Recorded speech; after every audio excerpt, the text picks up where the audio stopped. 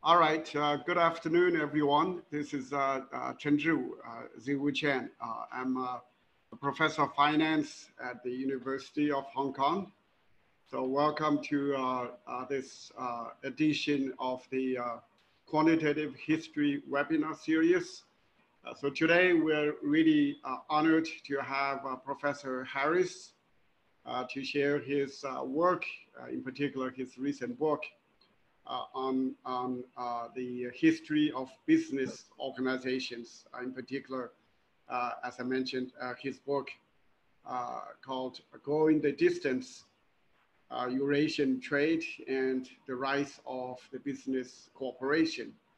So Professor Harris' work uh, has focused on the history of the business corporation. He studies the business corporation in Britain and comparatively and also in the wider context of legal and economic history, the history of industrialization, the history of capitalism, as well as the history of colonialism and globalization. He has published uh, three books. Uh, in addition to Going the Distance, uh, the two other books are Industrializing English Law, Entrepreneurship and business organization, 1720 to 1844. The third book is uh, Israeli Law, the, form uh, the Formative Years, 1948 through 1977. Uh, without further ado, let me um, uh, turn uh, uh, the floor to Professor Harris. So you will have one hour to present and then to be followed uh, with uh, Q&A from uh, our commentators as well as from the audience. Okay, so Professor Harris, here you go. Thank, thank you. you. Thank you very much, Professor Chen.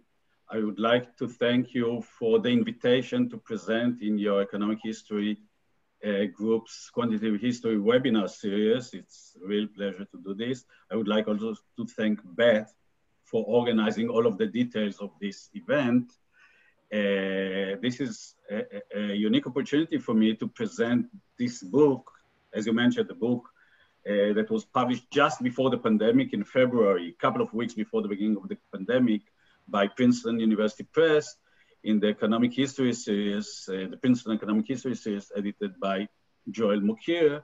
So I'll take the, the coming hour in order to present some of the highlights of the book and as I think you'll see, uh, it will be mostly uh, the second uh, part, the second half of the book that I'll be presenting.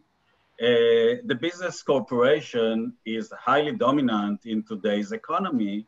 And, and a key question, a key puzzle I was addressing in the book is what made it so uh, dominant in the global economy and uh, I started dealing with the question after dealing with later periods in other projects, as mentioned by Professor Chen. I started dealing with uh, what I view as the formative period in the history of the joint stock business corporation, which is the, uh, uh the few decades after 1600, or maybe the century, the 17th century, going from 1600 to the late to around 1700. I'm, I was trying to better understand the circumstances under which the business corporation was formed. Just to give you a full span of history, there were corporations before, we'll talk about them. Uh, the expansion, the global expansion of the corporation took place only in the 19th century. And I'll try to explain how come the corporation was so uniquely Western European or European for about uh, uh, 300 years before, 250 years before it expanded globally more widely. Uh, my research questions are two. One of them is what is the role of organizations or what's the role of organizational forms, particularly one type of organizational form, the, the Joint Stock Business Corporation, in long distance Eurasian trade? The second question is what's the role of long distance trade and particularly Eurasian trade in the history and in the evolution of the business corporations. So I took the period in order to understand both what's going on on the trade side and what's going on on the organizational front. And I have two main arguments in the book. I'll present them here briefly and then I'll try to establish them in, in, in the coming hour. So the first one is uh, that around 1600, one could uh, uh, uh, identify what I term as organizational revolution. An organizational revolution that uh, manifested itself in the first appearance of the Joint Stock Business Corporation. But for me, it's not only one additional type of organization that was formed around 1600. Uh, there is a large menu of organizational forms. Each of them was developed in a different stages in history in different regions of Eurasia. What's unique about this organizational type is that it is, in my view, the first time in which an organizational form allowed impersonal cooperation, impersonal collaboration. That is, collaboration between outside investors, passive investors that did not personally know the insiders, the managers, the executives, the entrepreneurs, and those insiders. So this was the first impersonal, large-scale impersonal uh, cooperation that became possible thanks to this new organizational form, the Joint Stock Business Corporation. There is never a first time in history. There are always some earlier uh, manifestations of the same idea, but this is a larger scale, in my view, than was ever seen of impersonal collaboration.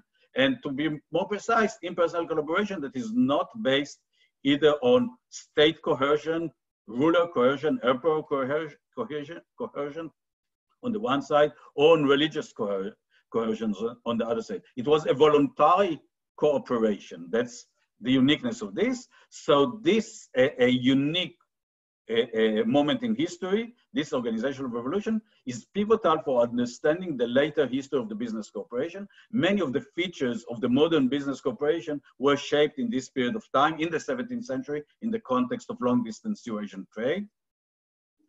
And, and, and the later history of the business corporation Uh, by the late 17th century, we have the Bank of England as a business corporation. In the 18th century, we have canal corporations in England. We have insurance and other financial corporations in the late 18th century. By the 19th century, we have railway corporations. We have industrial corporations, manufacturing corporations later in the, in the 19th century and into the 20th century. The history is much more familiar. So my argument that this formative period, the 17th century, is essential for understanding the later role of the business cooperation in economic development, maybe in the great divergence or whatever uh, it's called.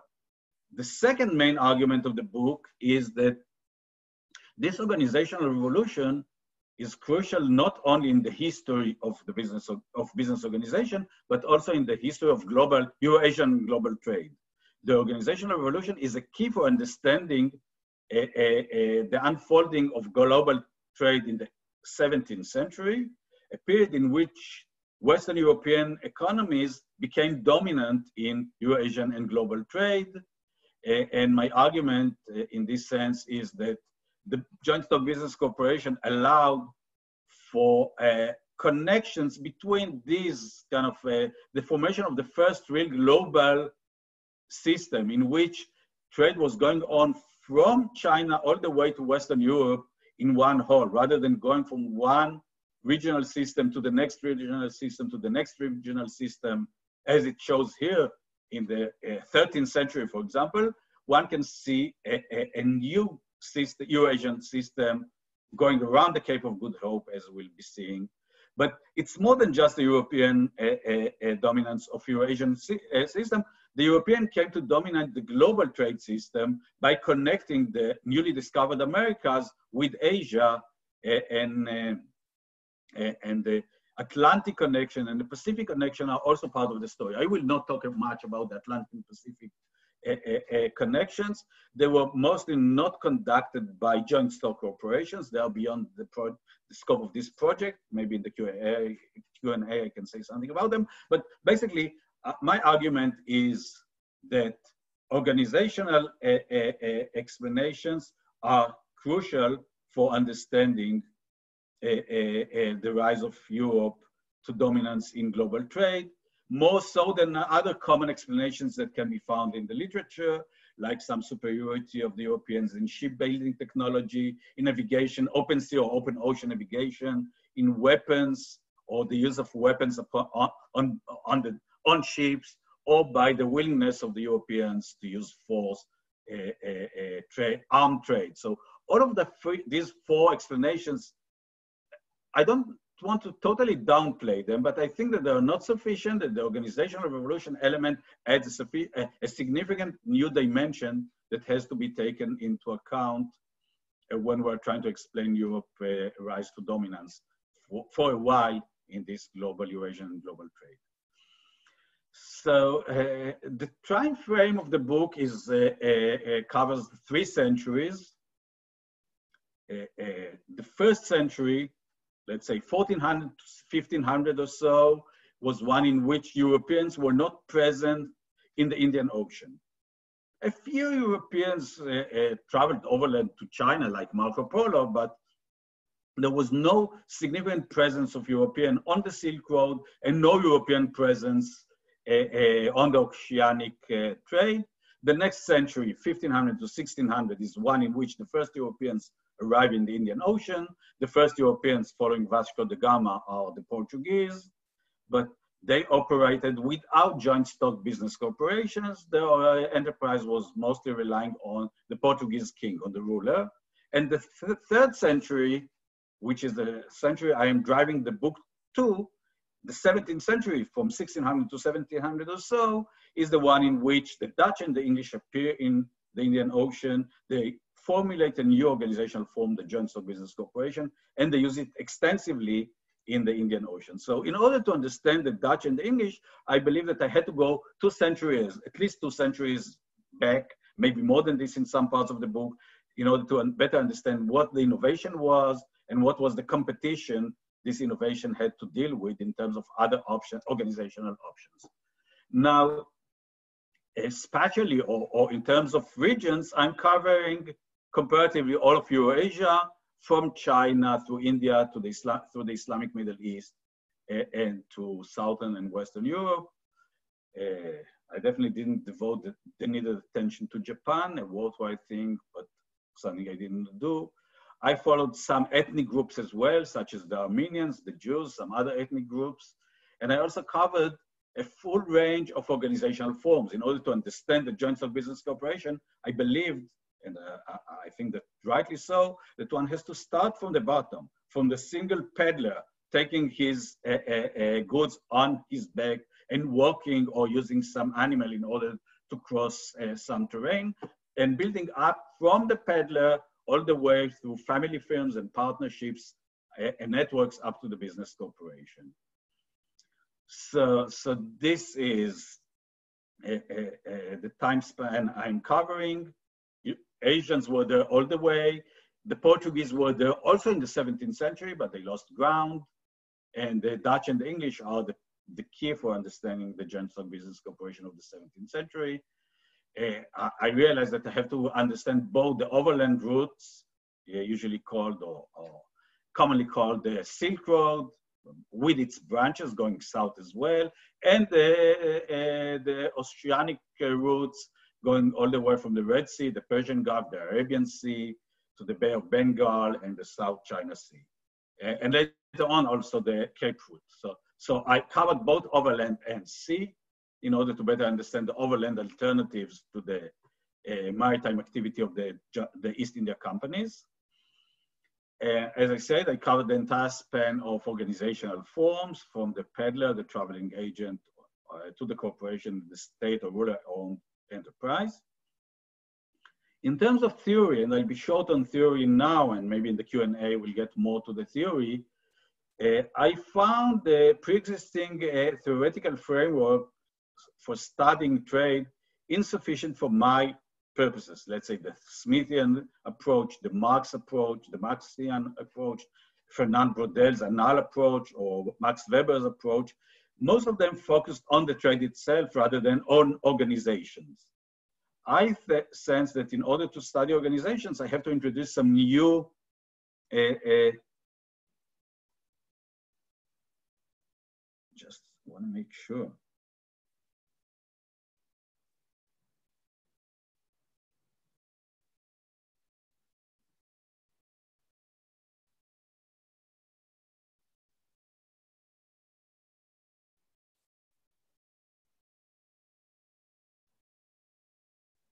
I just realized that I, my screen was not shared in the transition to the Facebook platform. So now you can see the screen again. I apologize for this. Uh, so uh, the pre-existing uh, uh, theoretical frameworks focused on trade, on markets, on goods, rather than on organizational forms. Uh, the Weberian uh, framework was somewhat useful for me in, in, order to study organizational forms, but I found it insufficient. Uh, what I used in order to uh, address my research questions, I, I, used what I'm usually using in my scholarship, which is the new institutional economics theoretical framework, organizational theory framework, my, uh, the kind of framework that introduced by Douglass North and some of the others, uh, uh, Ronald Coase and Oliver Williamson and others, start, as it was developed since the 1960s and 1970s.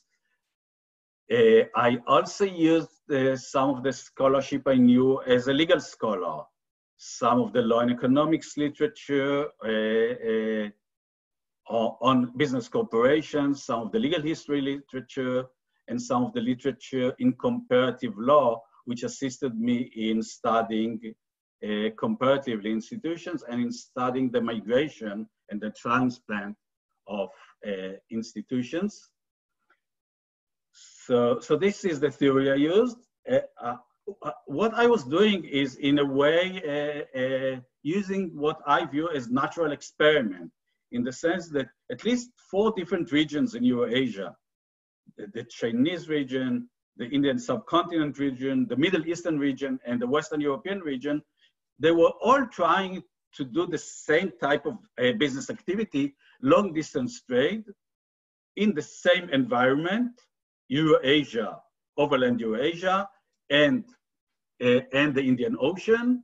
They were dealing more or less with the same goods that I'll specify in a moment. So they were all trying to perform the same functions and the question for me was whether when they're trying to perform the same functions, they use the same organizational solutions, the same organizational forms or different organizational forms. So in this sense, uh, I'm looking for regions that were trying to achieve the same goals, the same business goals for profit.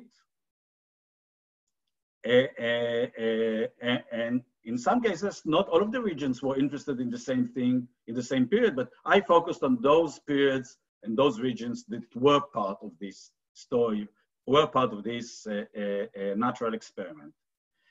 And now I was trying to understand when different regions uh, developed or adapted similar organizational forms, and they were, and when they were ending up with different organizational forms, and when I saw similarities, I was trying to understand whether the similarities resulted from parallel solutions to the same functional problem that led to similar solutions, similar organizational solutions, or was it a copying by one region of a solution that was already developed in another area? When there, there was a divergence, when there were different solutions, I was trying to understand whether the different solutions resulted from the fact that one region did not know about the solution adopted in another region, or whether that region were, was aware of the solution adopted in the other region, but nevertheless, for some, one reason or another, didn't want or could not adopt the same solution.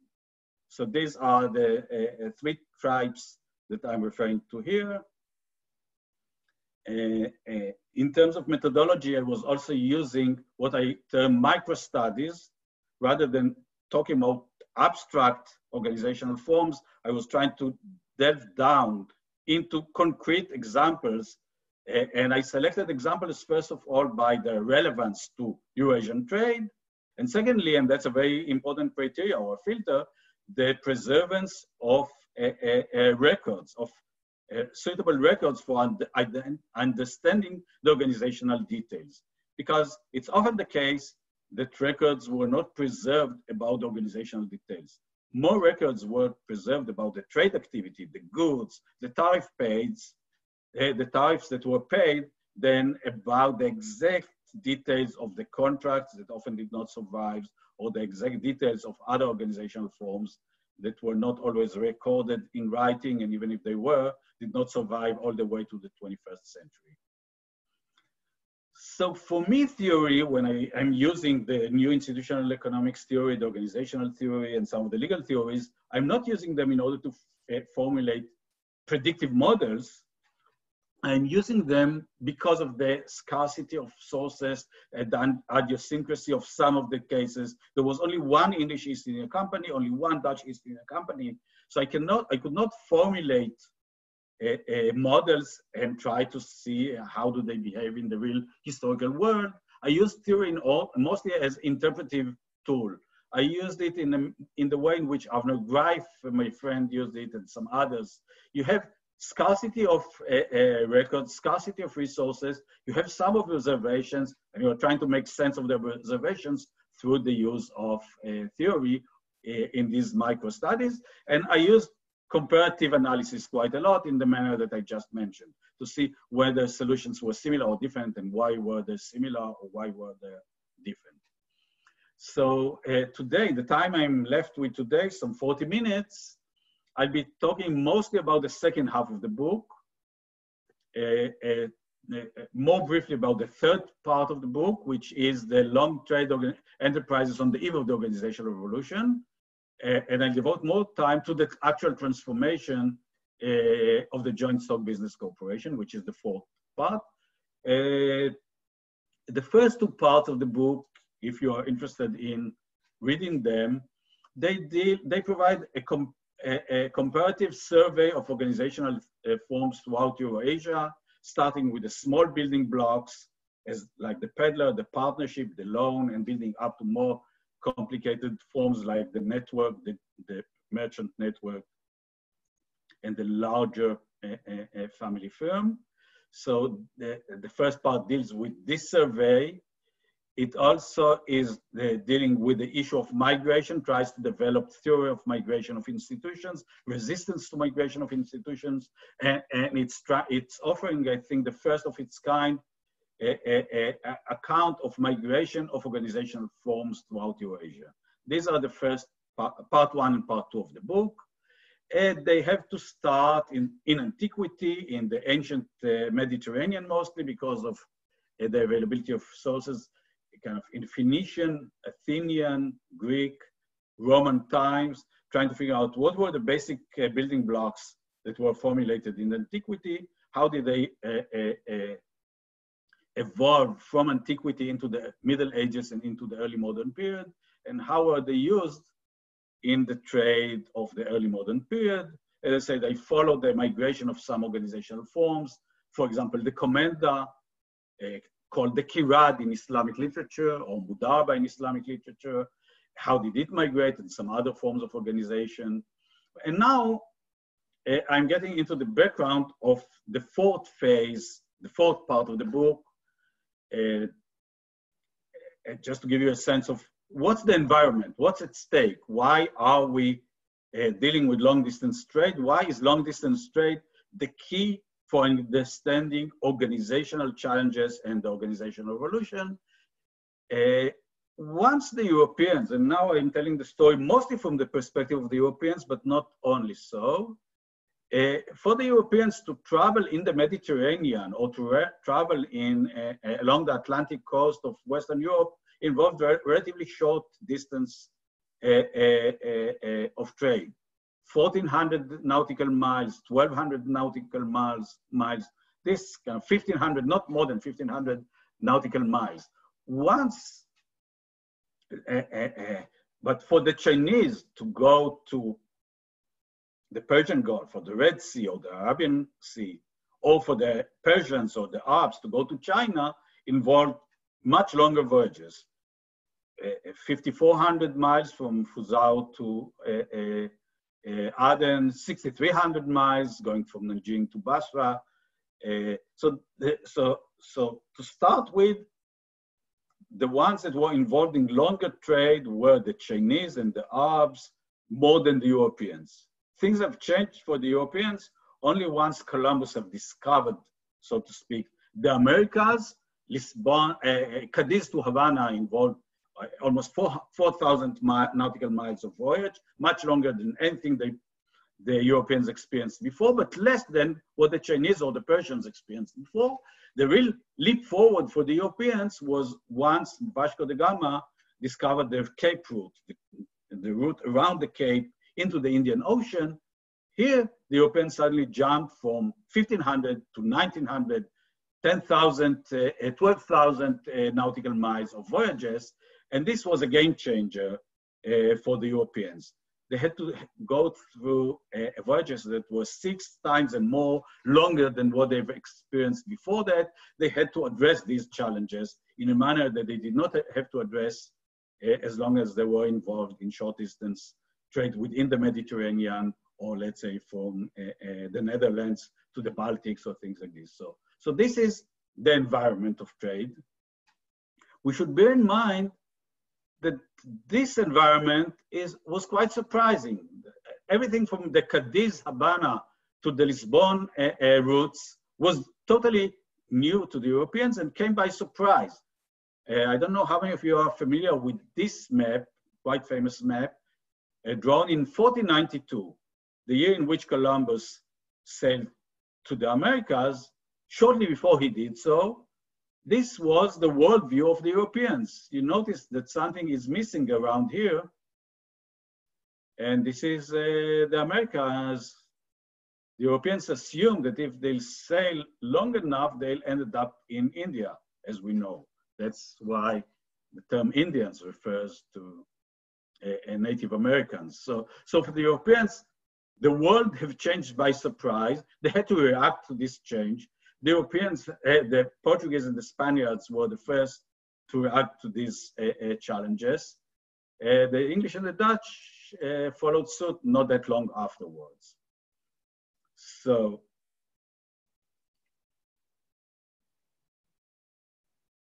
so trade, as I think we all understand instinctively, uh, uh, as we all understand instinctively, long distance trade is challenging.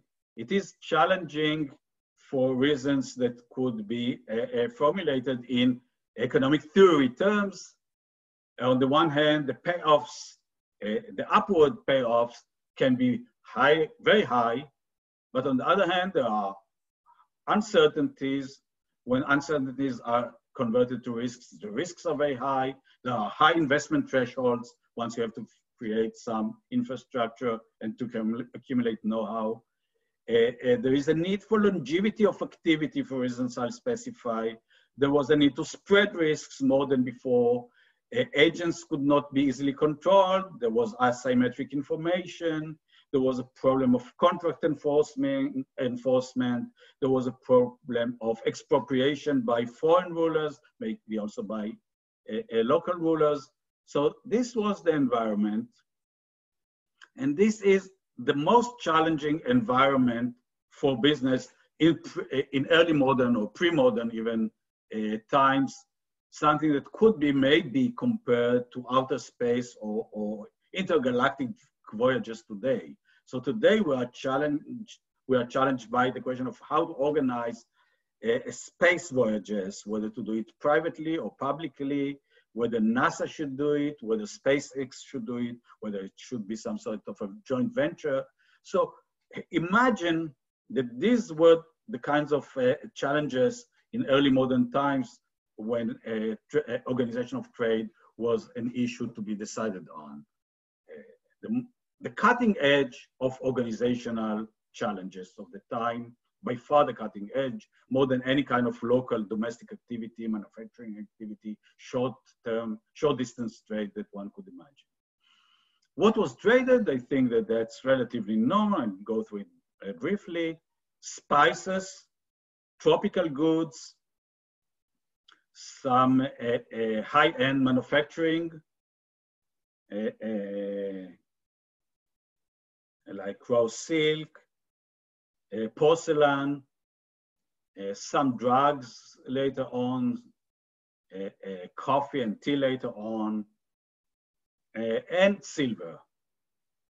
Silver, I think, is the most telling. That is, once the Europeans discovered the Americas and um, mined silver in the Americas, the Europeans started shipping silver from the Americas to Europe, from Europe to uh, uh, Asia, and eventually to China. They did it mostly around the Cape and at some cases across the, the Pacific from Acapulco to Manila and then on to Japan or to China. The conversion, the rate of conversion of silk to silver improved for the European as long uh, the further east they went. So they could make much more money by taking the silver as further east as they could. If they could take the silver all the way by themselves, all the way from the Americas, let's say from Peru to China, they could make the most. Okay? They could profit the most. So this was the ambition. This was also the organizational challenge. What were the organizational forms uh, uh, used before the 1600, before the formation of the first joint stock business corporation. I would like to mention three of them. These three are featuring in the third part of the book. The family firm, the merchant network, and the ruler or the king or the emperor uh, uh, uh, based or own enterprise are the three forms. Uh, I study uh, micro studies of each. I go through some of these micro studies momentarily. And I then try to show what were the constraints, what were the outer limits of each of these organizational forms. So, so these are the three forms. Uh, you can see the uh, in black on the slide that now you, you can see by now the slides. Uh, you can see in black the micro studies and in blue the constraints or the limits of each of these organizational forms. I, I'll do it in some more details now.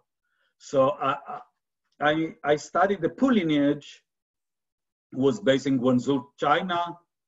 Uh, uh, I will not get to the details of this. I have about half an hour. I want to spend most of it on the Joint Stock Business Corporation. So this is one example for a family firm based in China, in maritime China, a, a family firm that had a, a, quite an extensive net, trade network in the South China Sea and beyond, into the Indian Ocean.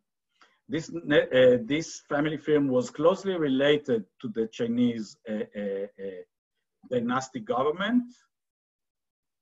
And it did quite well for a while up until a dynastic change in China.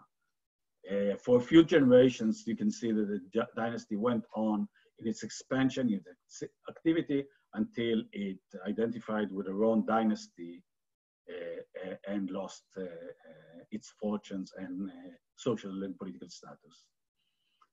When we move to India, we can find similar examples in India. In India, we have the Abdul, Abdul Ghafur family, which was based in Gujarat, India. The family uh, was active from the port of Surat in India. It had relationship with the Mughal uh, uh, rulers of the time. It had a significant uh, fleet of ships going all the way to the Red Sea on the one hand and to modern day Indonesia on the other hand. Uh, it was quite successful. It had a, a, central hub and a couple of regional hubs, but eventually, after some generations, uh, intergenerational transfer problems and the rise of the Europeans kind of brought an end to this uh, family firm. The Fugger family firm from Augsburg, southern Germany is our third and last example of a family firm. As I said, I don't get into the details. The details are in the book. Uh, the family firm was mostly a banker's, uh, uh, uh ran mostly a banker's business, lending uh, money to other business persons, other merchants, and rulers. At some point, the family itself got into trade the family, among other things, uh, lended money to the Portuguese kings. So were, the, the Fugger family was involved in the pro, uh, Portuguese project in Asia, but not through a joint ownership, but rather through a, a, a debt, through uh, as creditors of the king, as lenders to the king. Uh, the, the family had a significant network in Europe, all the way from Eastern to Western Europe. It went through several generations intergenerational transfer was a challenge for the family. Uh, and eventually the family was also relying on, on the local rulers, on, le, on the loans provided, and the, when local rulers went bankrupt, the family firm went bankrupt as well because uh, its loans, its the huge loans it paid uh, uh, for the wars conducted by the rulers, these huge loans were not repaid. So, so to sum up, what are the limitations of the family firm? I showed that the family firm can take us a long way, but there are some outer limits to what it could achieve. One major problem is intergenerational transfer within the family. Uh, uh, uh, the enterprise could either be dispersed into smaller units from generation to generation, or alternatively, some members of the family didn't want to go into business, thought that it's too risky, preferred to go into politics, into religion, to become landowners, and they pulled out capital from the family. Uh, there was a problem of flocking in, there was a problem of intergenerational transfer and of management. And there was also a problem of uh, absence of asset partitioning. That is, there was no separation between the private and the business assets of the family firm.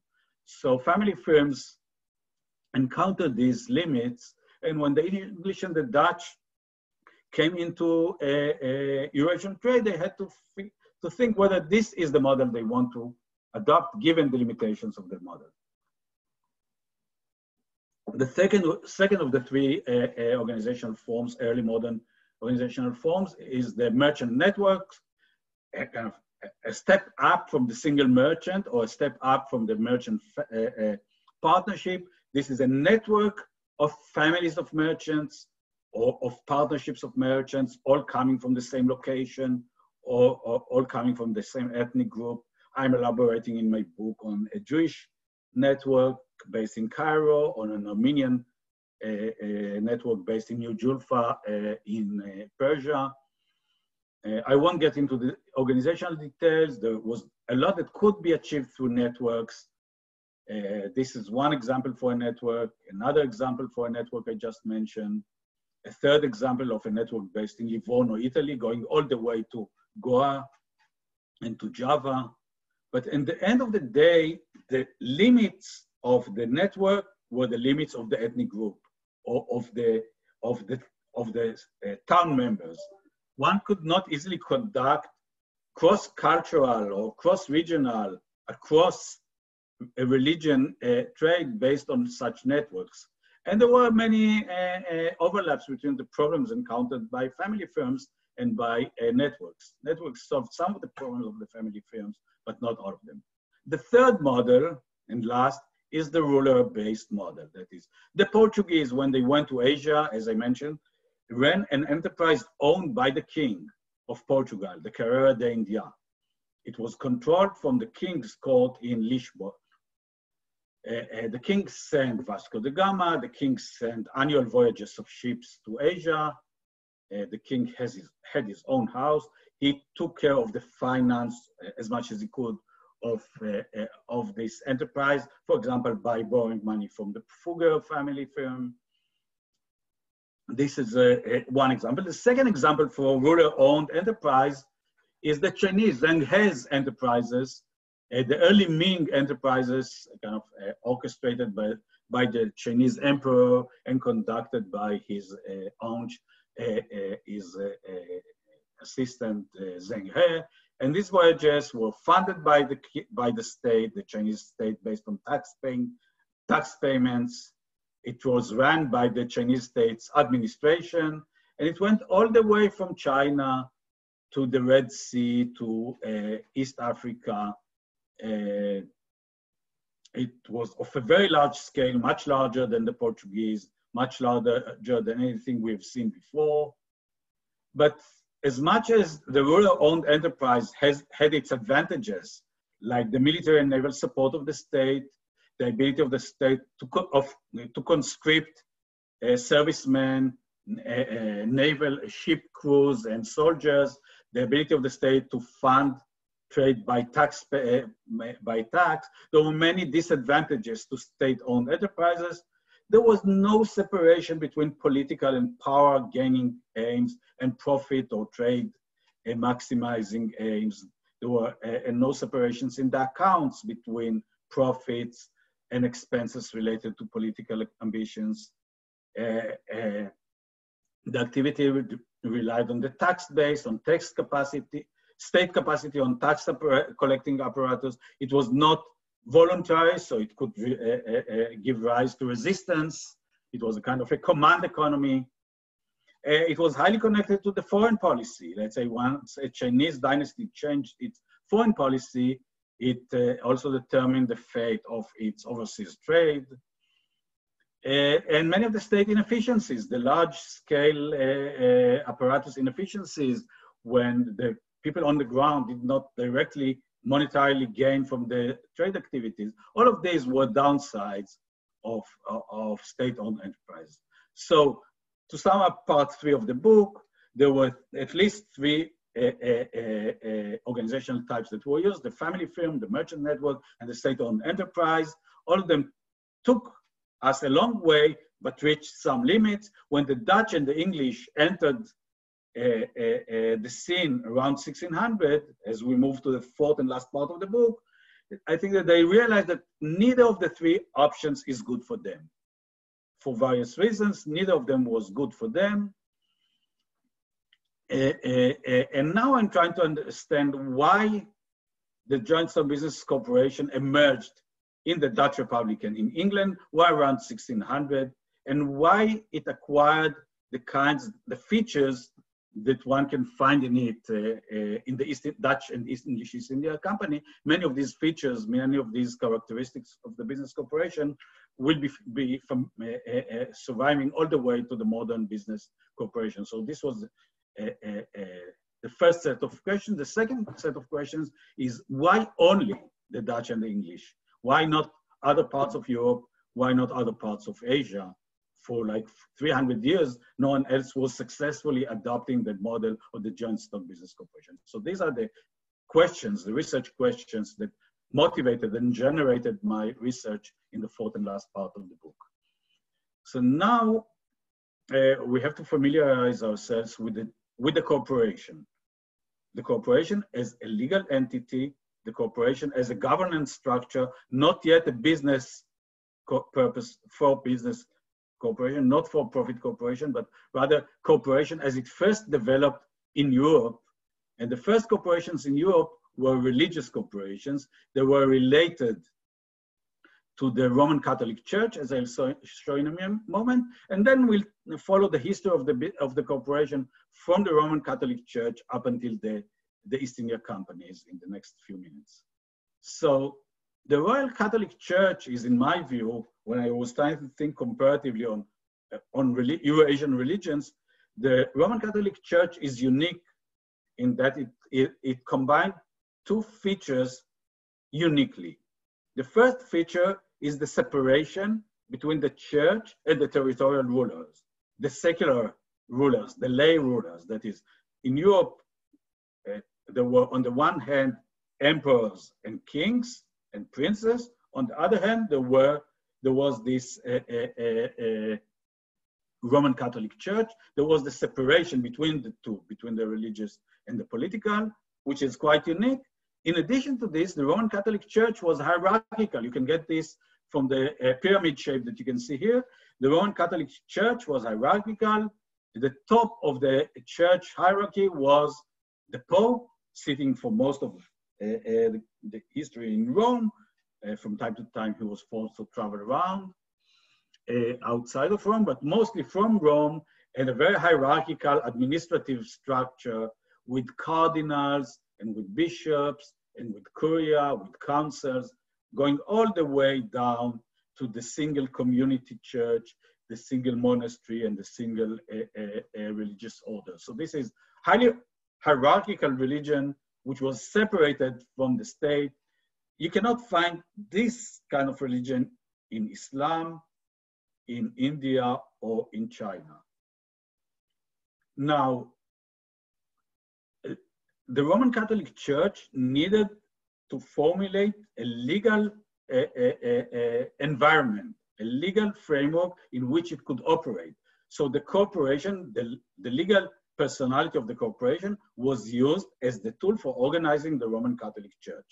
That's not something new, that I'm saying as an innovation. It, it exists in the literature. Harold Berman was the first, I think, to, to present this uh, very clearly in his famous book. So, so the, the corporation was created as the constitutional framework for the Roman Catholic Church. Uh, uh, the corporation was used, for example, for appointing popes. There was, if one doesn't want the emperor, the Roman, uh, Holy Roman Emperor, to appoint a pope, one has to develop an alternative, some sort of a council that will uh, elect the new pope. Uh, uh, and this is kind of first step in the governance of the, uh, uh, of the Roman Catholic Church as a corporation. Let's say in a monastery, you don't want uh, the monks to own property. You want the, the monastery to be owned collectively. The monks will not have a second generation because of a, a, a Christian Catholic theology there will not be ability to intergenerational for intergenerational transfer to the second generation. So it had to be owned collectively, and the corporation is the solution for monasteries as well as to Pope and for everything in between. So this is the first step. And I think that this is important in understanding the uniqueness of Europe. The religion of Europe created the corporation, and the corporation then unfolded beyond uh, uh, the Roman Catholic Church, uh, to municipalities, the city of London was a corporation, many other cities were corporations, the Italian city-states were corporations, universities, colleges, guilds, uh, were all corporations. So we have a process of a few hundred years of development, maybe 300 years of development of the corporation in different public, semi-public uh, uh, contexts. Initially autonomous from the state, in England at least from, uh, uh the, from the uh, days of the, uh, from the 16th century, let's say from Henry VIII and beyond, the king took over a monopoly of creating corporations by using charters, the chartering of corporations. You can see here some quantitative data. Uh, on the chartering of corporations in England, universities, colleges, uh, uh, Eh, eh, guilds, livery companies, municipal corporations, schools, hospitals, and uh, the, and only down there we and we see some overseas trade corporations and banks. So, so the idea of chartering was older. You can see some examples of charters, starting with the universities of Cambridge and Oxford, going through a variety of uh, the city of London, other hospitals, schools, and down here you can see the East India Company, the very last corporation here, the very last in this slide is the East India Company to which we are turning now. So, so the corporation, as it moved from political, religious and political purposes into business purposes, first used for organizing guilds, formalizing uh, kind of uh, using uh, organizing guilds in a more formal ways through the corporate form, then regulated corporations, which are uh, incarnation of the guild, and eventually the joint stock business corporation. The difference, the important difference between the regulated corporation and the joint stock business corporation is that the joint stock business corporation had joint stock. That is, the corporation traded as such. Whereas in the regulated corporation, each individual member has its own had its own stock and traded in, in his own stock. There was no joint stock. The corporation in the regulated corporation, like in the guild, provided an infrastructure, but not the active business activities. In the business corporation, the activities were taken uh, uh, were going on within the corporation through the joint stock. So this is the divide this is kind of the organizational revolution that I'm talking about here. In this shift, the corporation embodied four new characteristics. This slide is very important for my uh, presentation, for my argument. My point is that there are seven attributes to the modern business corporation. Two of them were number one and two, governance and legal personality were in existence before my revolution, so to speak. In the Roman Catholic Church, in municipalities, in universities, separate legal personality and collective decision making were already existing. Number three to six were created around 1600 with the East India companies, joint stock equity finance, the lock-in of investment, the transferability of shares, and the stronger protection of the capital accumulated, the capital pulled together and locked in the corporation, a protection of this capital from expropriation by the ruler. These four features are, are the, the, uh, at the core of the organizational revolution. Uh, attribute seven, asset partitioning or limited liability is a later uh, uh, uh invention. I wrote about it recently in, an, in a, an article that is about to be published. It's online already. So the limited liability is an invention, in my view, of the 19th and 20th century, not before. Number three to six are the uh, organizational revolution. In order to uh, uh create the, the, uh, uh, the preconditions for the organizational revolution, two problems had to be solved. Again, a very important point for me. First of all, the crown or the ruler had to credibly commit not to expropriate the asset of the business corporation.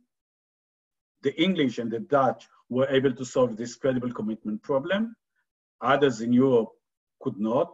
The absolutist, all powerful king of France could not credibly commit, for example.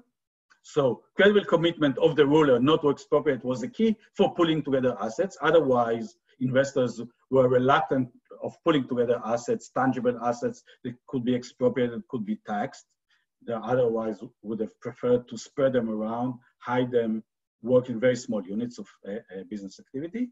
The second problem is the problem of credible commitment of the insiders to the outsiders, to the outside investors, to the passive investors, not to expropriate them, not to cheat them, not to shirken them, uh, to share with them reasonably, uh, in a reasonably fair way, the profits of the corporation. Uh, and in order to do this, even before this, to share with them information about the business activity of the corporation. So this is the way in which uh, the second uh, credible commitment problem was solved. I'll show it in a few more details in, in, the coming minutes. So this is the charter of the East India, the English East India Company. The English company was formed in 1600 by this charter. The Dutch company was formed two years later by a different charter.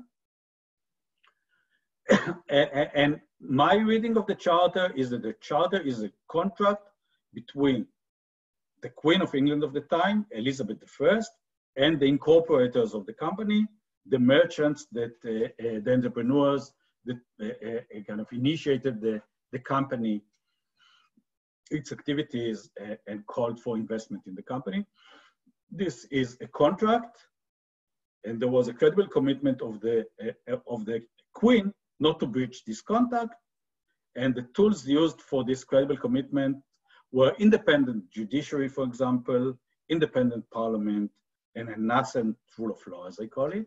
I detail this in the book. So these are, are, are the keys for understanding uh, the credibility of the commitment of Queen Elizabeth in the Charter, a relatively independent uh, uh, parliament, relatively independent judiciary, common law, some level of constitutional protections to the Charter in the common law, and over time also vested interests that clustered around the East India Company and lobbied the Crown not to expropriate. And these were strong enough vested interests. So this is how the, East, the English East India Company looks like. It has a governor, it has a variety of officers, it has a joint, it has a, a, a court of committees, which is in fact the board of directors of the company. It has a joint stock. It has a general court of all of the shareholders. So this is the governance structure. This is the capital. Capital was initially raised for each voyage separately you can see the numbers, uh, uh, uh, about half a million pounds, a huge sum of the, at the time. people subscribed to shares. This is not a very clear slide, but each of the investors, each of the shareholders subscribed for a sum he was willing to invest. There was no fixed amount for a share at the time. And you can see a growing number of investors going from 100 and some to 200 and some, nearly 300 investors in the English East India Company. By far the largest enterprise in England of the time, much larger than any other type of enterprise. And one could also see uh, uh, that the investors in the company were not only active merchants, but also people involved in European trade, manufacturers, landowners, gentry, in smaller numbers, but nevertheless, a, a wide variety of investors invested in this company. You can see it in these slides, which I will not go in, into details, but I think that when analyzing the shareholding of the East India Company, I realized that outsiders were willing to invest based on the credible commitment devices created, as I mentioned earlier on. Uh, all of these invested in the company, landed aristocracy, uh, uh, gentry, uh, hundreds of investors altogether, most of them passive. Uh, uh, the company shares were gradually traded in, in the informal stock market of London at the time. It was not well organized market as the one in Amsterdam, but on the whole, you get governance, you had investment in joint stock, you have voyages and, and, and you have a long existing enterprise that was created in 600, 1600 and existed all the way to 1857, going through several incarnations over the time. The Dutch East India Company came out of somewhat different building blocks. The Dutch earlier history was different from the English earlier history the Dutch could rely on a, a commenda kind of limited partnership. The Dutch could rely on ship ownership, uh, uh, which was divided into shares. Uh, and it was, went through a couple of stages, initially pre-companies and then a united company. The Dutch also had a charter. This is the governance structure of the Dutch company, somewhat different from the English one. You can see that the Dutch uh, East India Company. The VOC was a united company of six, six pre-existing companies. So there was a merger of six pre-existing, what's called pre-companies in the literature, each of them based on a different city.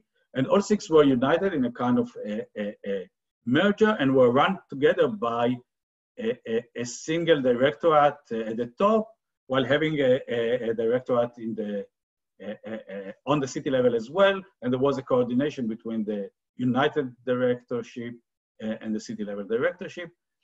Uh, money was raised through shares in the various uh, cities, a much larger capital than the one of the English company, more investors than in the English, more uh, the, uh, the, Amsterdam stock market bourse was already active at the time. There was more trading in shares.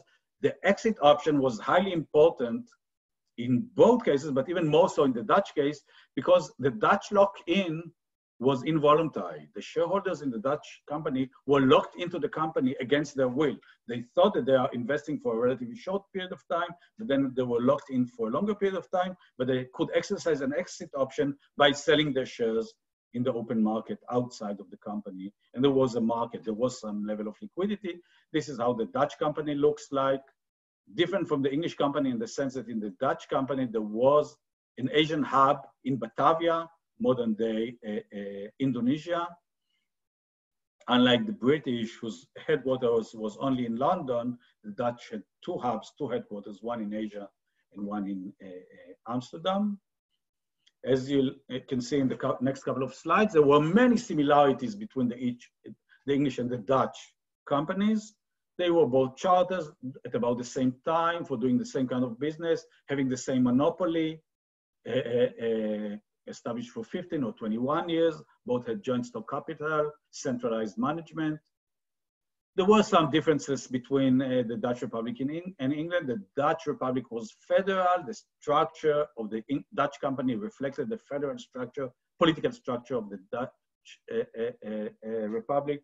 There was stronger state support in the Dutch case to the company because merchants were more dominant in Dutch politics than were they were in English politics in the early 17th century.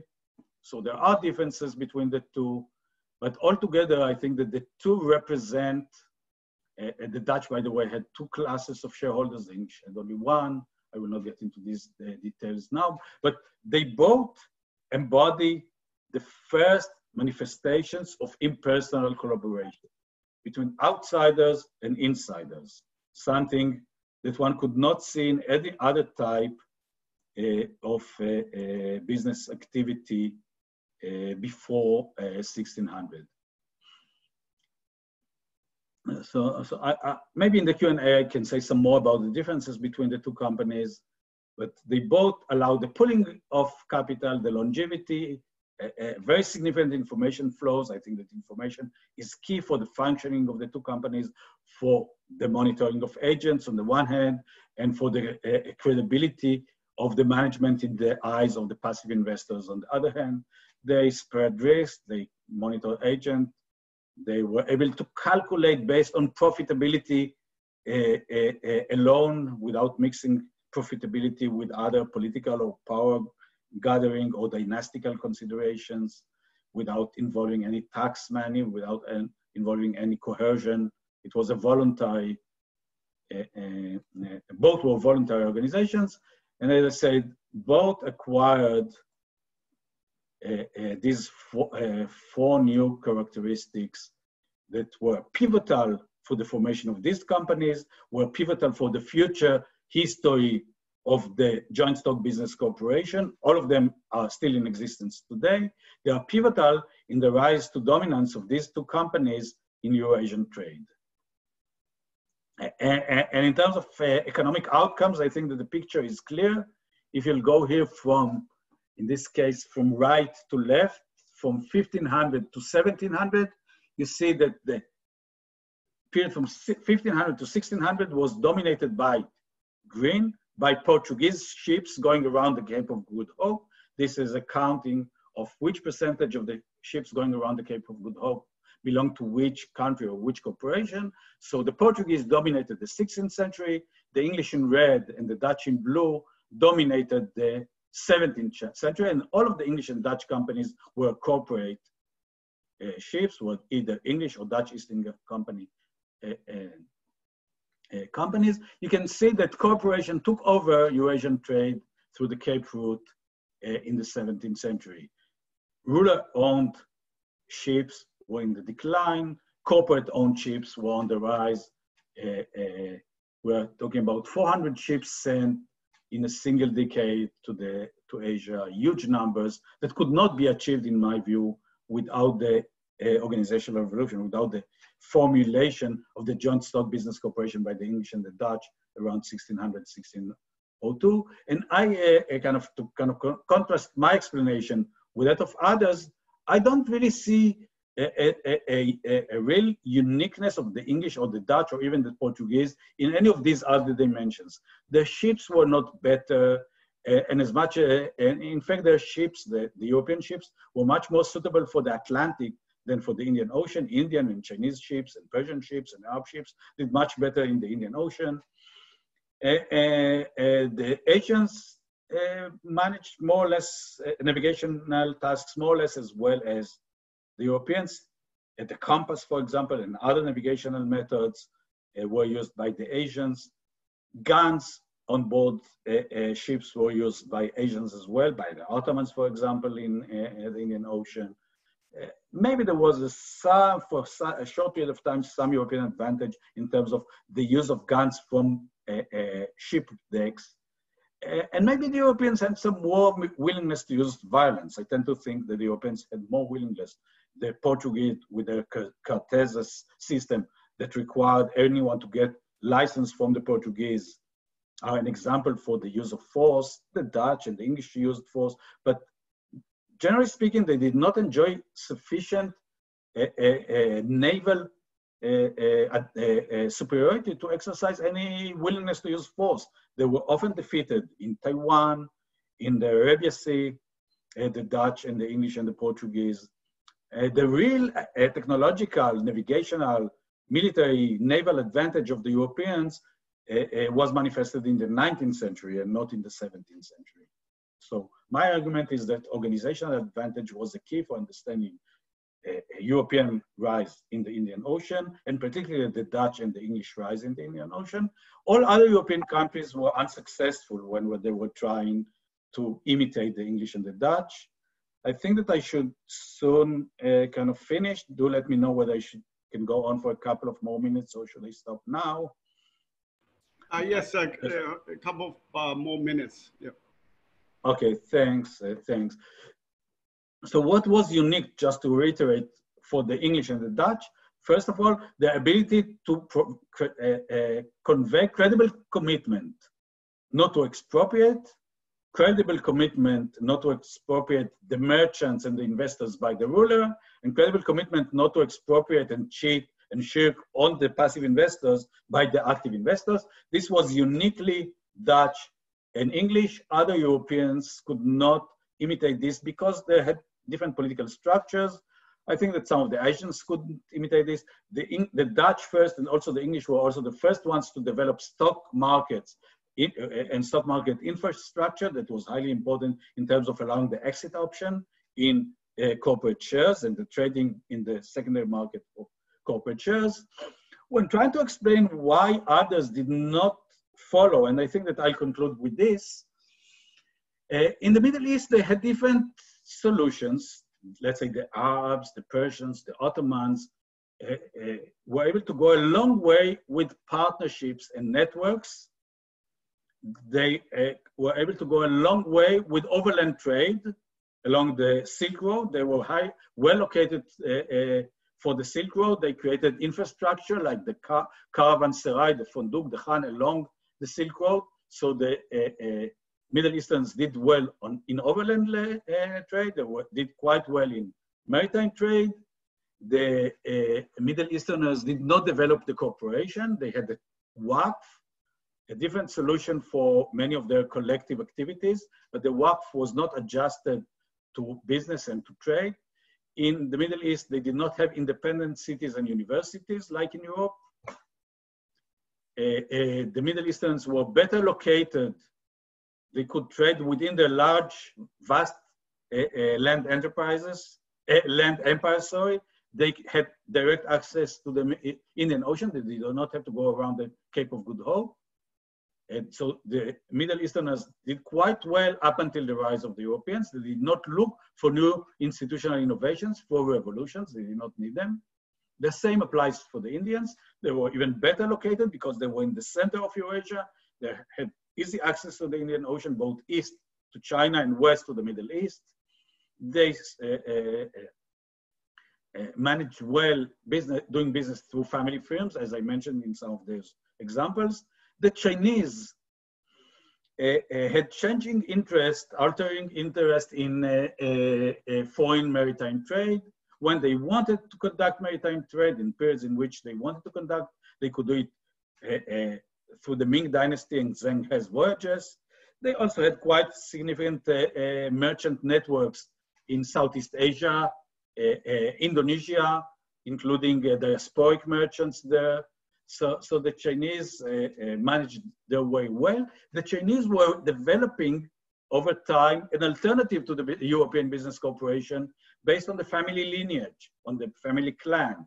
So the family lineage went through a variety of transformations over the centuries, and by the 16th and 17th century, became more business oriented, more voluntary, more corporate in terms of its uh, uh, uh asset owning, uh, and it could develop in a counterfactual world in which the Europeans wouldn't have shown up in India with the East India companies, the family lineage could serve as the basis for larger scale, longer distance trade uh, based in China and could potentially even be a, a model for other parts of um, uh, uh, Eurasia as much as the family uh, uh, uh, could be lineage could be imitated socially and maybe theologically and politically in other parts of Eurasia. So the Chinese did well.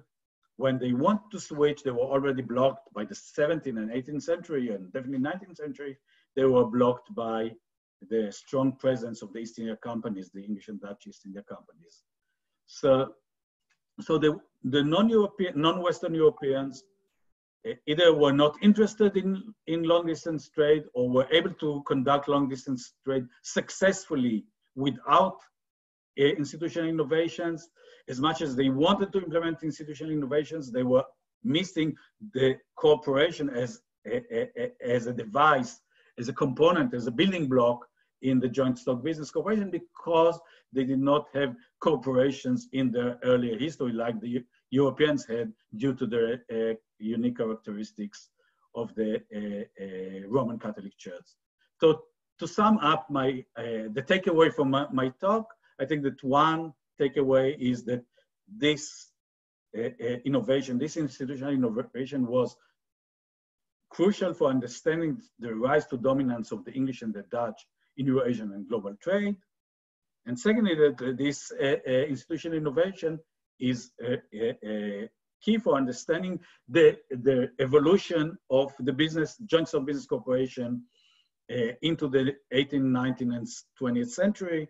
Uh, uh, it was a key in, eh, eh, in turning business organizations from one relying on personal eh, familiarity through family, ethnic group, city, neighboring uh, dwelling and things like this into impersonal collaboration. So in both these respects of the development of business organization and the business corporation on the one hand, and the rise of the Dutch and English and Euro Western Europeans to dominance in Eurasian trade, I think that uh, uh, the period I'm focusing on, the formative period of the early 17th century, the formation of the East India companies is is crucial for understanding this. Thanks very much. Uh, thank you, uh, Professor Harris, uh, for the wonderful presentation. Um, so, yeah, I, I, in the interest of time, uh, let me be very brief uh, before I turn it over to my colleague, uh, Professor Zhichen Ma, to organize the discussion and the Q&A part of this talk. I, I, have two quick comments or, or points I want to bring up. One is um, there is some interesting work by um, uh, a Stanford economics uh, professor, uh, Ulrike uh, Malmendier. So she, she did uh, uh, some work to uh, dig up the Rome, Roman practice of a business organization that is very similar uh, to the um, modern business, uh, you know, limited liability corporation or joint joint stock company. Uh, so Malmendier said, uh, you know, at least uh, by uh, the third or second century BC, the Romans were doing very similar things. but of course, after the Roman Empire ended during the Middle Ages, that disappeared that form of business organization disappeared. Uh, my, my second point uh, is more about uh, the question uh, uh regarding, uh, related to survivorship bias. Uh, yes, we know that now, you know, the, the limited liability joint stock corporation is the survivor, has won, especially after the 17th century, especially after the Industrial Revolution, uh, for example. Okay, uh, but I, I, understand your main proposition is that uh, long distance trade, because it was high risk and and so on, so that gave rise to the um, emergence and adoption uh, of the joint stock corporation.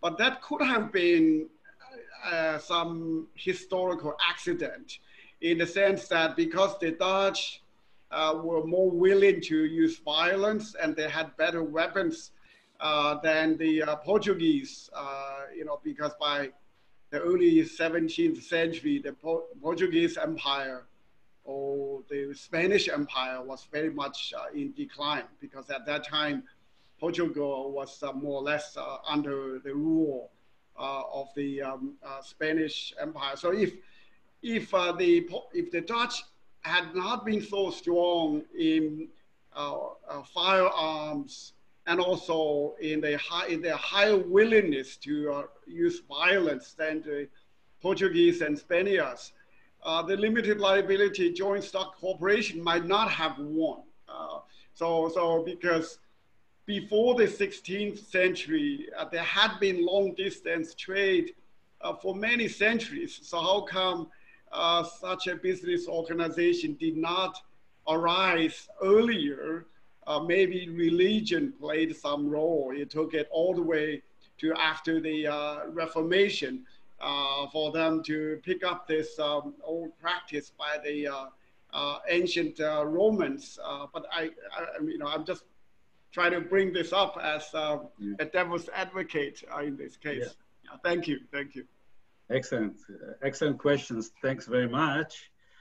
Uh, I'll, I'll, try to answer them briefly. I'm not sure whether satisfactorily, but at least provide some answers. So I'm familiar with Malmendier's work. I also uh, am familiar with the more recent work by Giuseppe Dari Mattiacci and uh, his co-authors trying to show that the peculium of the Romans was a, a, a ancestor of the joint stock company. So, so I think this is part of a larger question that I'm bothered with in other contexts as well of Eh, eh, how come the Romans were so developed, let's say politically and legally and economically, did not develop uh, some organizational forms that were developed later on, let's say in the early, uh, early modern period. I, am dealing with this question now in a, a, smaller project of mine, an article I'm working on, on insurance and other means for uh, spreading risk or, or, allocating risks in the context of maritime trade. Why insurance was not invented by the Romans? Because one could explain why insurance was not invented, let's say in the late Middle Ages, when uncertainty was high and information was not flowing and one could not price insurance premium. But apparently under Mare Nostrum, the, uh, uh, the Roman uh, Mediterranean Sea, one could price risks. So why not? So this is a permanent question. I'm not an expert in the Roman Empire. I encourage experts in, in the Roman Empire, Roman economic historians, Roman legal historians to try to answer the question, to what extent were the Romans actually developing something which is resembling the joint stock company. But, uh, but even once we have this answer, the question is whether any of the knowledge of this actually uh, uh, uh survived into the early modern time. Because, I mean, I think that uh, uh, one of the interesting insights of Douglass North is that unlike technology, institutional know-how tends to be forgotten more often, more frequently. So the fact that the Romans knew how to do it doesn't mean that the the later Italians or Portuguese or Dutch knew how to do it. The, the knowledge may have been lost. So this is with respect to the Roman. Uh, is this an accident what happened around 1600 in London and Amsterdam? Could be, definitely could be.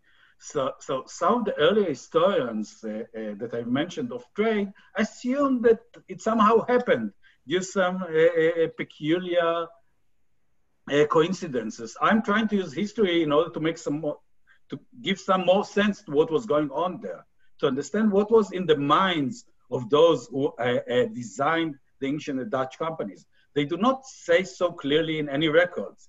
Uh, we don't have all of the records, we have some of the records, but when you go through the records, they do not explain why did they organize the companies the way they did. I'm trying to use history in order to give sense to this. Uh, uh, and I think that at least it's worthwhile to have my explanation on the table and to engage with it as an alternative to a mere accident. What, uh, what's the role of violence? I think that this is a question I'm always asked, uh, uh, and rightly so, because when you look at things from today, you can definitely get the impression that the Europeans used more violence. But my argument is that they did not enjoy the advantages they could not exercise this willingness to use violence effectively because they did not have any military, naval, or, or technological advantages that could allow them to do this. Uh, and, and, maybe to show, sharpen my insight on why is it organizational uh, solutions, organizational challenges rather than violence, I, I, I, devoted quite a lot of time for understanding what the Portuguese were doing during the 16th century. And I realized that they did not find a good model. They kept changing their, organizational model. I have a chapter on, in the book on this.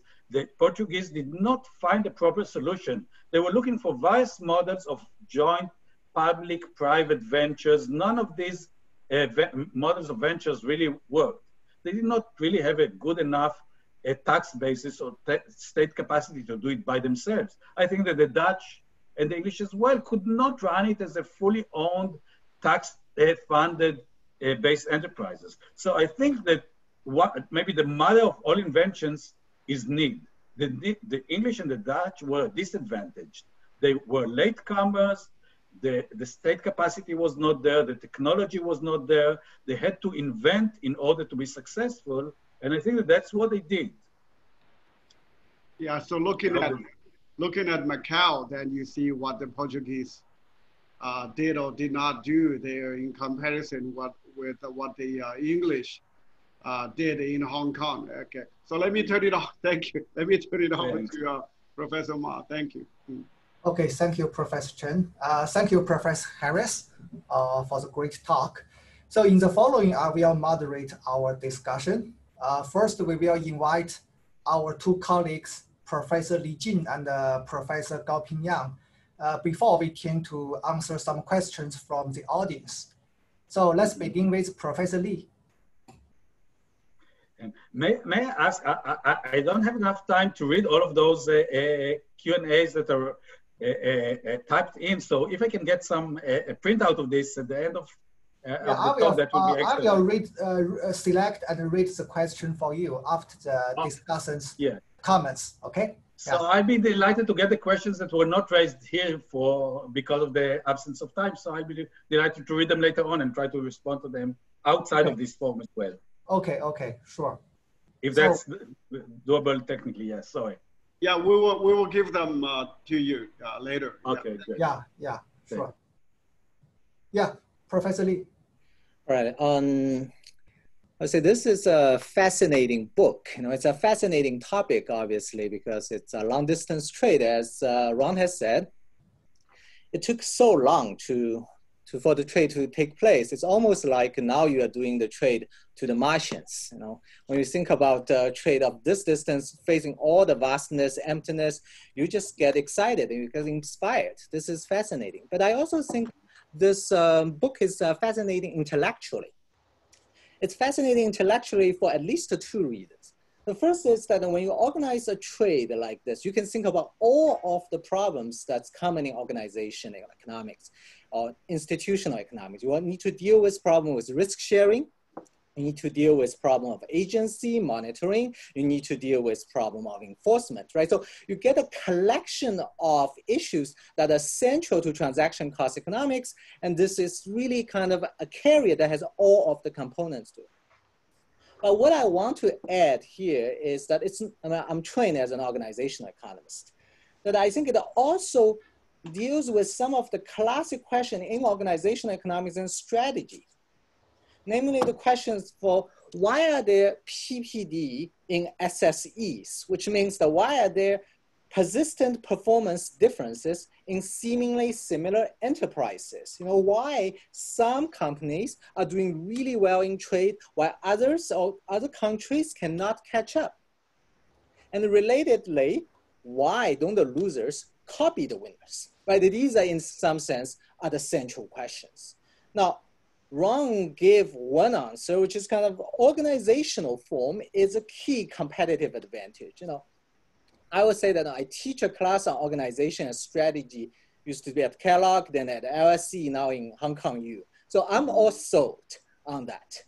Mm-hmm. I do believe that uh, uh, organizational form is a key to competitive advantage of a firm. It's almost its core competence, right? If you take one of the innovation here, the capital locking, for example, the investment locking, right? If you think about what is the key for for the trade back then. It is be able to raise a lot of capital. So you can build big ships, you can hire men, you can get um, gunpowder and all of this.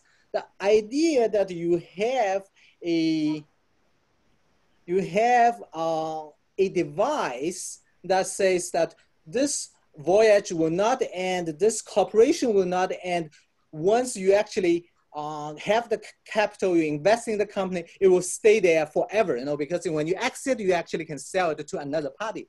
That's an important institutional advantage that allows the company to raise a lot of capital. That is key to, uh, I would say, the core competence of the company. But that's the easy part, I would say. It's kind of, know, at least I'm sold. The more interesting question is, why don't other companies or other countries copy them, given that they have been so successful? Here I want to advance a notion um, of a distinction between micro institution and macro institution. Most of the time, people just talk about institution, you have put a law, culture, everything in it. But in this uh, book, which I think is fascinating, particularly because of all the micro studies, you see that a lot of these innovations are micro. You still take, say, this investment locking or capital lock. It's a micro, my, it's an invest, it's kind of, a, it's an innovation in the micro institution. But to have it approved, you go back to the history to look at what happened to Netherlands. They have to go to the Estate General in 1612. Right? Originally, the, the, the VOC is supposed to expire on 1612, but then they want to make it permanent. You know, essentially, they are actually breaking the law in some way. So it is kind of the macro institution out there somehow facilitate the innovation in micro institution. Mm -hmm. So we see that in the Dutch, uh, in the VOC case, uh, we saw a lot in the book, actually, some of the micro institution, you can think about the CELO as a micro institution. It's used essentially everywhere, but not in Islam-based countries. Right, so this is another example that we see micro institutions, um, people know about it, but because of macro institution, we cannot do it. So one of the things, and I I felt I learned a lot, but I feel like we can push further on this is to think about other than commitment issues, which is always what we talk about in one of the key macro institutions. Are there other features that can help us to understand more about how micro institution change and to some extent it feedback to macro institution? So this is important in the sense, if you look at what's going on in the world these days, we have digital currency.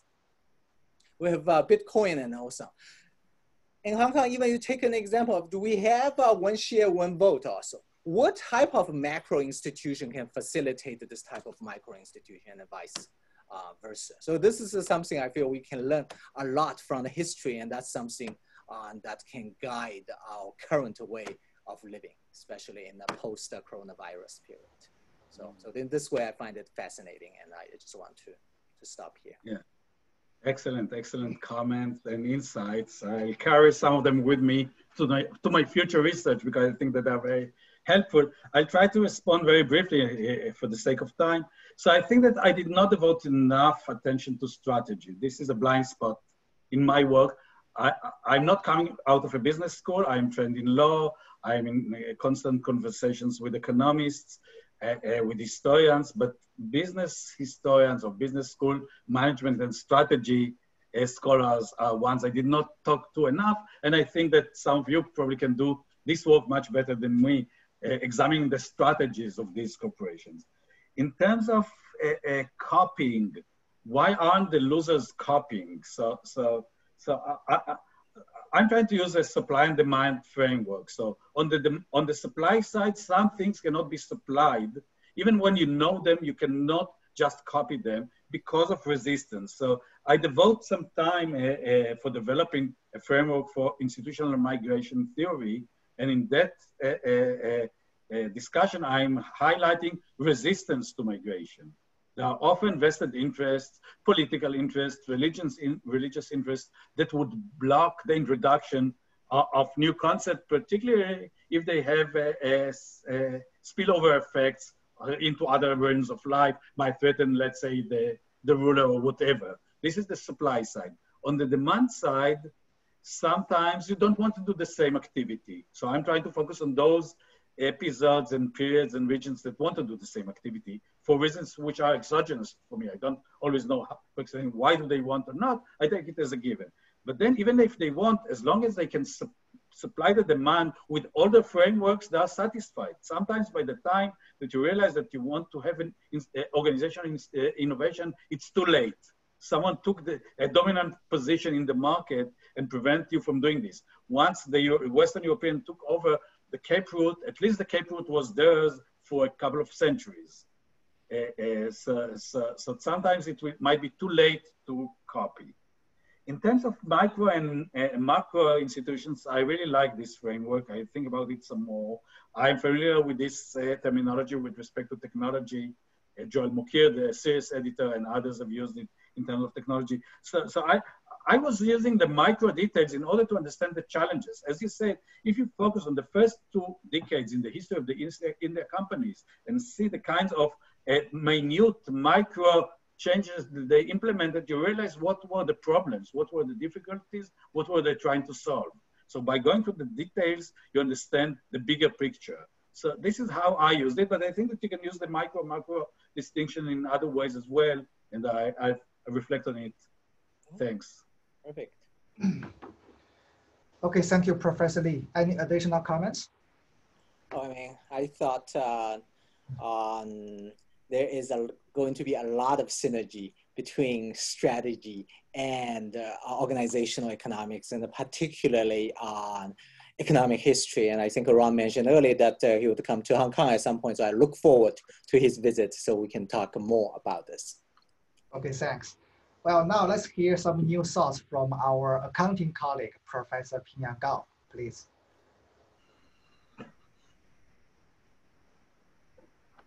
Oh, well, um, first, uh, Ron, thank you very much for this excellent talk. I've learned uh, a great deal of uh, things uh, that I, you know, I, I didn't, I, I, I, was always curious, but I, I've never got a chance to get into.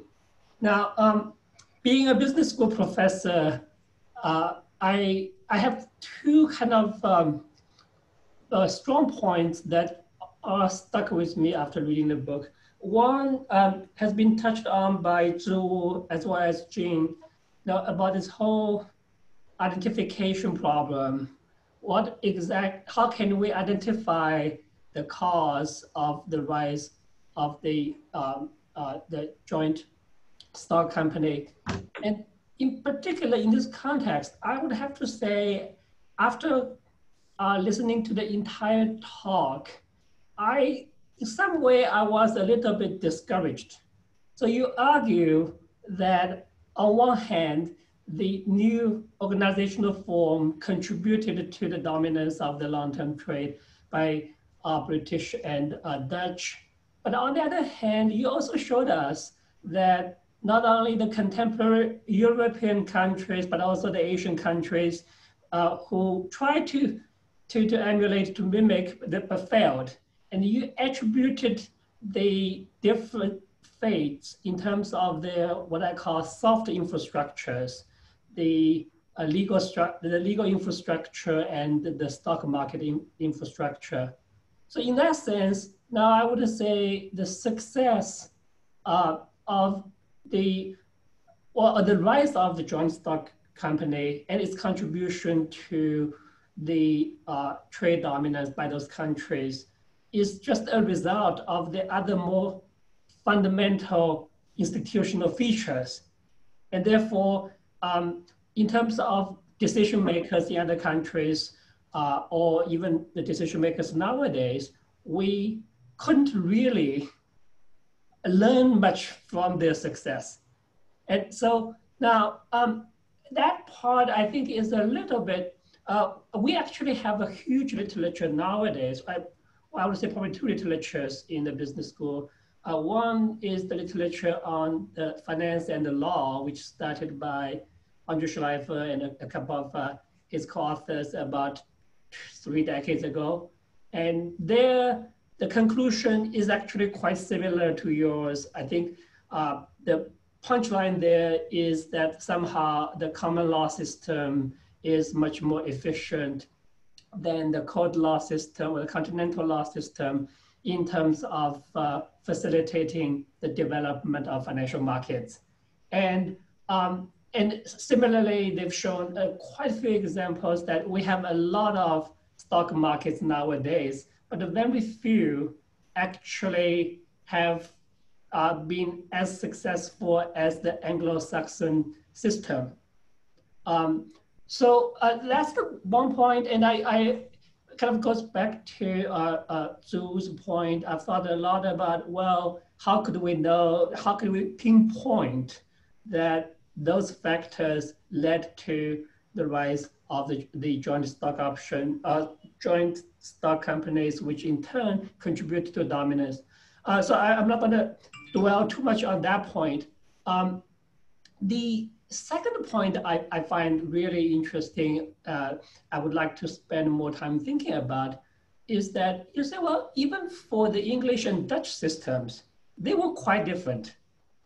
And now um, the we have experienced three, uh, well, um, more than four centuries of uh, experimentations with different uh, variants of the basic organiz organizational structures.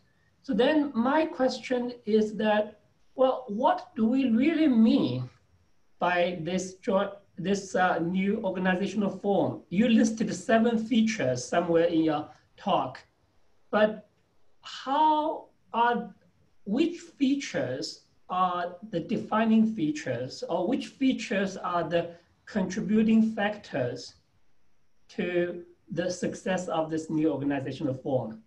And the reason I, I, am interested in that question is because I want to understand that uh, as a contemporary business school professor, what can I learn from your painstaking efforts of collecting the historical materials to guide the decisions we are facing nowadays? And as I mentioned earlier, that we have the law and the finance literature, and we also have actually quite um, a few literatures. For example, we have the, um, uh, the, the firm theory literature, which try to define the boundary of the firm.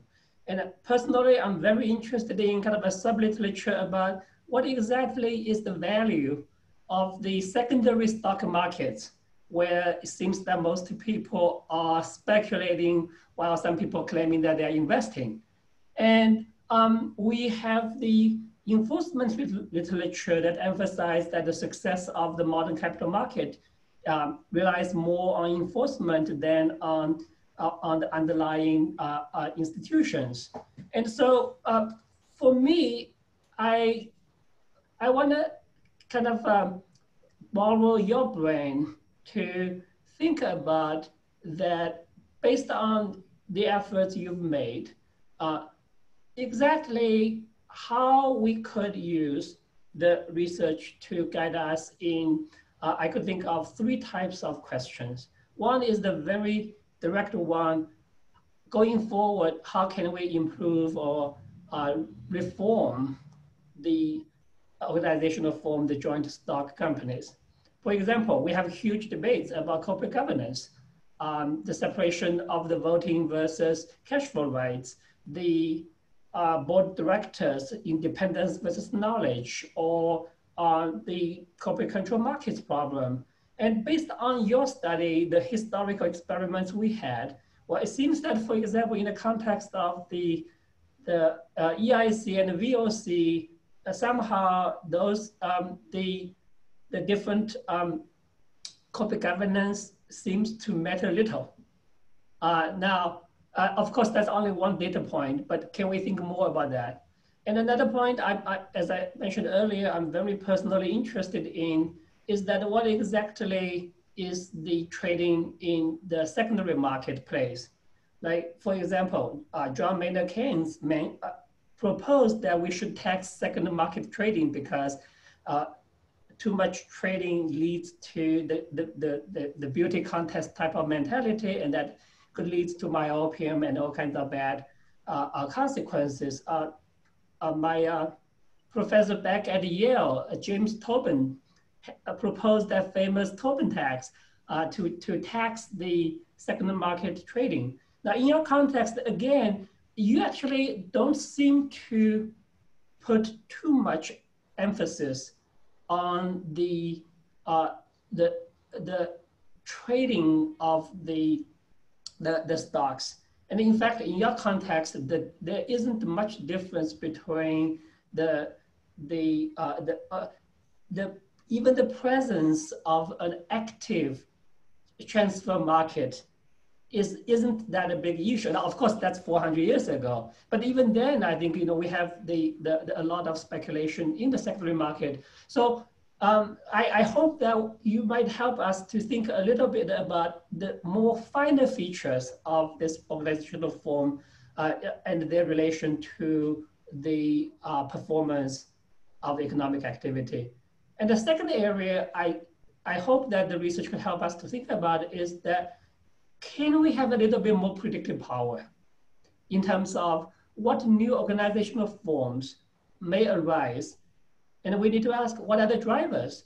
Is, is it technological change? For example, we the, the communication, the travel technology have changed dramatically. And now we're talking about the blockchain, which is a record keeping and verification technology. Would that actually change the uh, organizational form. Maybe the joint stock company uh, may not fit the purpose any longer.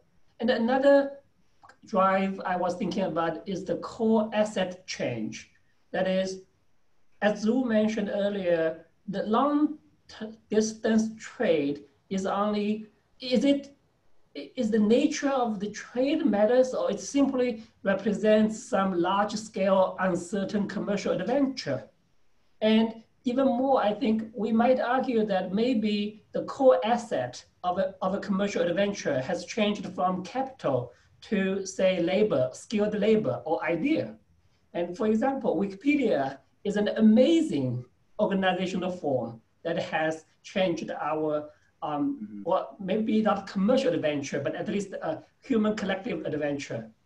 And so um, I, I, in, in, the interest of time, I, am going to skip the third point, which I, I was thinking more about the other part that can the innovation in organizational form um, stimulate new type of economic adventure we might even not envision today, but that I, we can communicate uh, offline.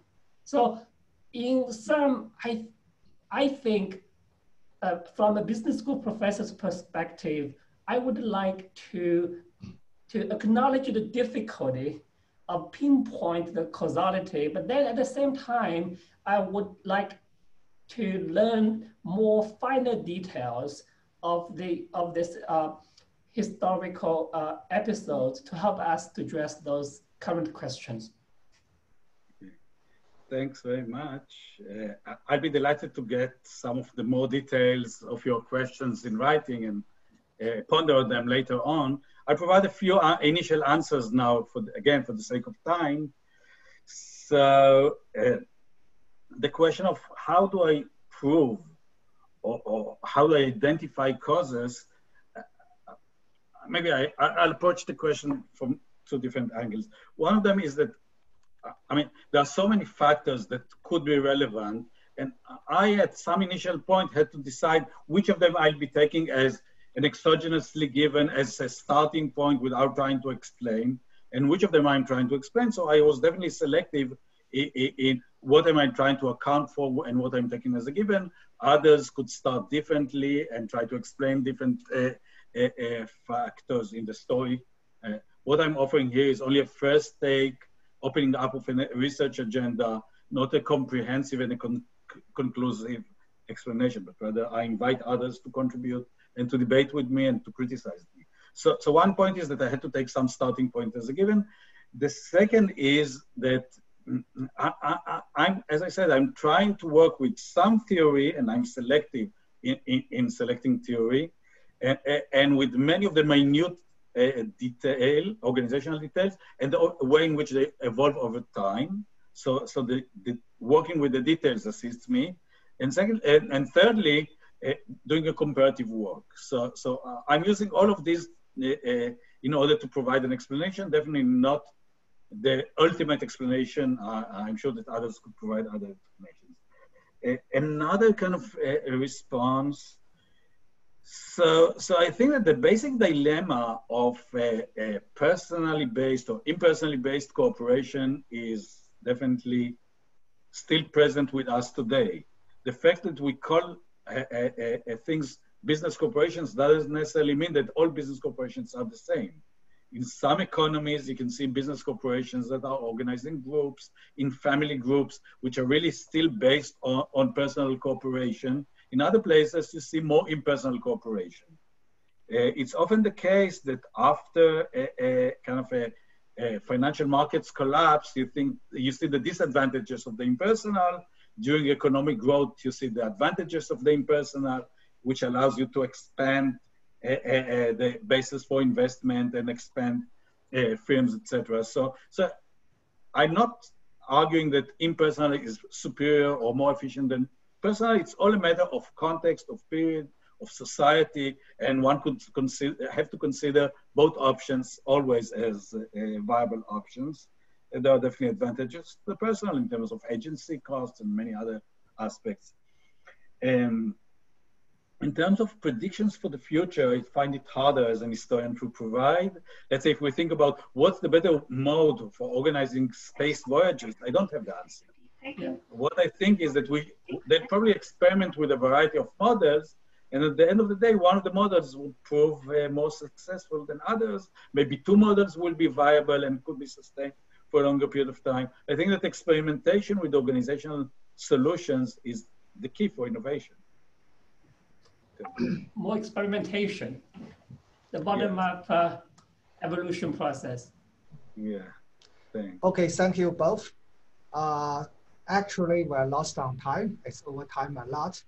Uh, so here I can uh, I just uh, summarize uh, one question, one common question from the audience. It's a short question. Mm-hmm. then we will finish today's talk. This question is about the, the, the legal origin behind the organizational innovation in the international trade in history. Uh, they ask that whether or not the, the difference of legal origins, for example, the civil law, common law, and Islamic law uh, mm. across different continents might account for uh, the divergence of the uh, corporate organizations. Yeah. yeah, whether or not this so, is the case. Yeah, so, so I, I, I mean, I think that both in this project, in other projects of mine with some co-authors, uh, among other places in Yale, like Naomi Lamoreaux, Tim Guinnane, and Jean-Laurent Rosenthal, we are quite critical of the legal origins theory about, about the superiority of the LSV theory, about the superiority of the common law. The story I'm telling here is not about the common law. It's a story about uh, uh, political systems, both on the continent and in England. Uh, they are differently organized. One is organized as a federation. The other enjoys some separation of powers on the constitutional level. So the common law is not a key for my explanation. I think that there are different ways of arriving at, at joint stock companies. They are not going through the, common law kind of, a, they can, they emerge from other parts of the political system, the religious system, social, social structures, I think. Uh, uh, uh, it's not a common law. The common law plays a relatively, and in that respect, you could uh, in, in a way, Islam was dynamic in a variety of ways. One could conceive Islamic law as a bedrock for such developments in different historical circumstances. Uh, one could envision Roman civil law tradition as giving rise to this. So, so I don't really buy in this context the advantage of the common law story. Okay, thank you, Professor Harris. So Professor Chen, you give a concluding remark. Uh, yes, uh, again, thank you, uh, Ron, for this great opportunity to learn from your work. Um, I, I, know we are already out of time. let me just quickly mention that in two weeks, or actually three weeks time, we're going to have uh, Professor uh, Peng Kai-Xiang uh, to give a talk on the, um, the 13th of August uh, but that uh, talk will be in uh, Mandarin, in Chinese. it's on, it's about his research on the legal system, the evolutionary history of China's, especially the Qin Dynasty's uh, legal system. Okay, so if you have not signed up uh, to join our mailing list for the webinar series, so here is the uh, barcode you can scan and then sign up there. So um, okay, so see, hopefully uh, we can see all of you uh, in two weeks time. All right. So again, uh, thank you, Professor Harris, uh, for uh, doing this uh, talk. and also my thanks go to my colleagues to discuss the book. And again, thanks to all of the attendees in today's talk. All right, so that's it for today. Thank you. Thanks very Thank much you. for the Bye. invitation. Enjoy the discussion. Bye. Bye now. Bye. Bye. Bye.